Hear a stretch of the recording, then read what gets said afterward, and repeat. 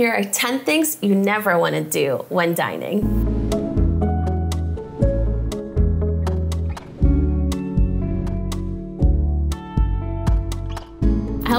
My name is Daena Jeanne Antonelli. I'm a certified etiquette consultant. If you're new to my channel, welcome. I'm so honored that you are here. In this channel, I talk about manners, modern etiquette, self-development, and anything else that can help you become the best version of yourself. If you've been here before, I'm very happy to welcome you back. So for today's video, we are discussing 10 dining etiquette mistakes that you never want to make.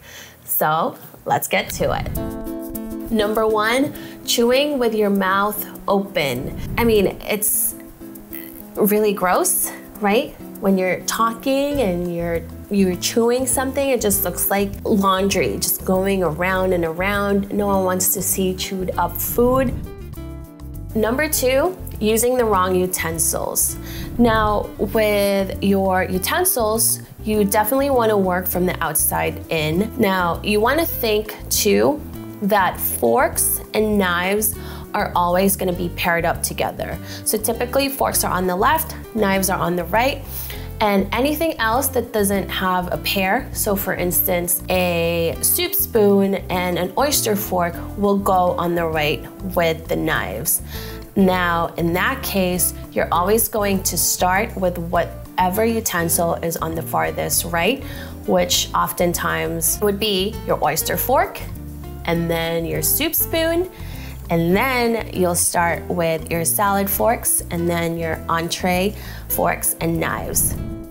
Number three, reaching across the table. I see this time and time again. Families and friends, you know, it's easier because you're more comfortable with them, but you know, I want you to definitely be more mindful and aware of that. So if there's something, you know, you can't really reach within, you know, like this distance, just ask for whoever's closest to it to just pass it to you. And always remember, you want to pass to the right. Number four, starting to eat before everyone is served. Now, this is very rude and disrespectful, especially if there's one person who is waiting for their food. Um, I understand that you're hungry and you just want to eat, but do wait until that person's food arrives, or if they tell you and everyone else around you to begin, then you may do so. Otherwise, I would wait. It just shows that you are very respectful towards that person. Number five, cell phone use. So with this, I always say put your phone away, right? You're there to socialize and enjoy a nice dinner or lunch with a friend, a colleague.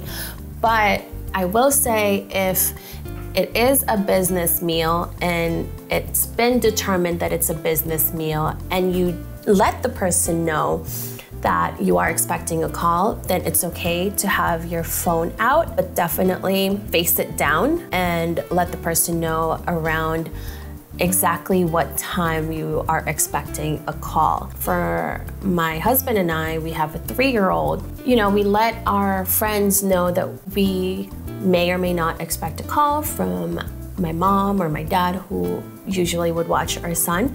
So, you know, it's more of an in case of an emergency, especially if you have kids.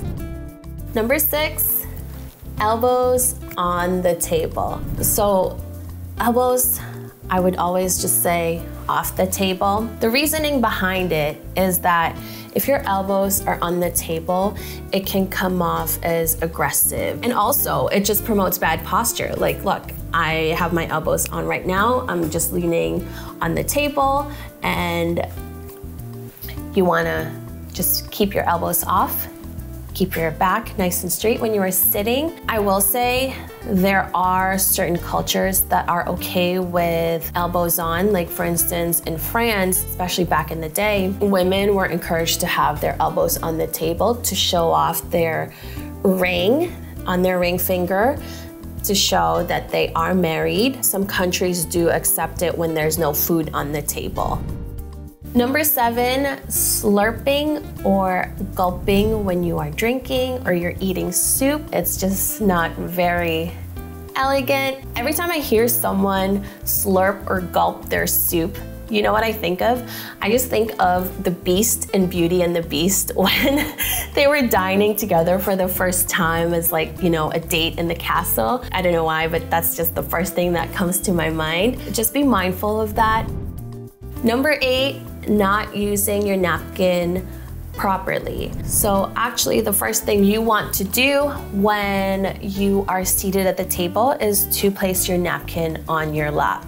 This will signal the server that you are ready to be served water or drinks. And also with napkins, you don't want to wipe you know, aggressively if you have something on your face. You just wanna do a quick dab, put it back on your lap. And then another thing too with napkin etiquette is if you need to use the restroom or you want to excuse yourself for some fresh air or take that emergency phone call, place your napkin on your chair. Again, this will let your server know that you will be returning. And once you are done with your meal or your dinner, you can place it on the left side of your plate. Number nine, talking with your mouth full. Just take smaller bites when you're eating, keep it closed, and then carry on with your conversation. And number 10, pushing away your plate when you are done.